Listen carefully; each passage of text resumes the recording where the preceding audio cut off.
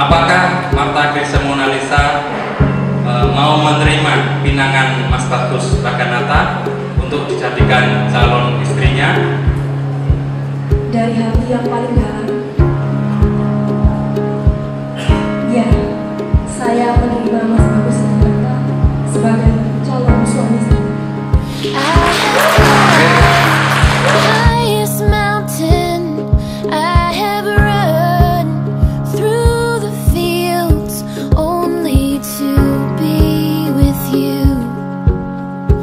only to